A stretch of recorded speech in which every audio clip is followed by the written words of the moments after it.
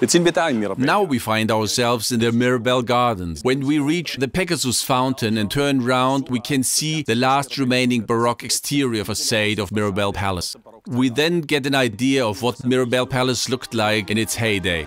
This inspired not only Wolf Dietrich von Raitenau, but also Julie Andrews and her film team, who made Mirabell Palace extremely famous. The film Sound of Music is known the world over. What an amazing success story of a young novice, Maria, who lived in Nontal Monastery back in 1938 and who was supposed to look after the seven children.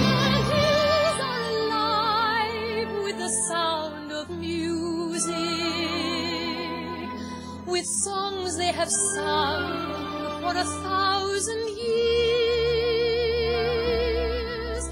The story is well known. Singing is the main focus of the whole family. When you sing, you begin with do, re, mi. Do, re, mi. Do, re, mi. The first three notes just happen to be. As obviously they had no computers and no TV.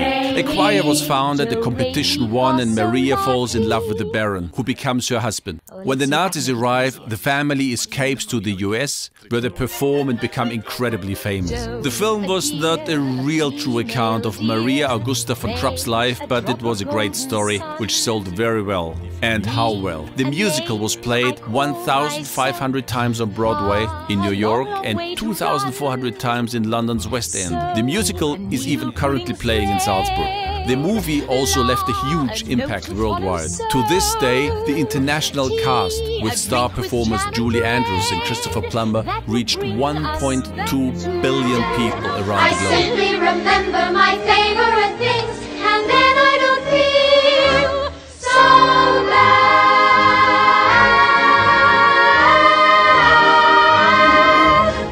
Sound of Music won five Oscars and the box office results range on third place in the historical list of best movies, even before E.T. and Titanic. Every year, these historical settings attract thousands of tourists who come to discover and be photographed.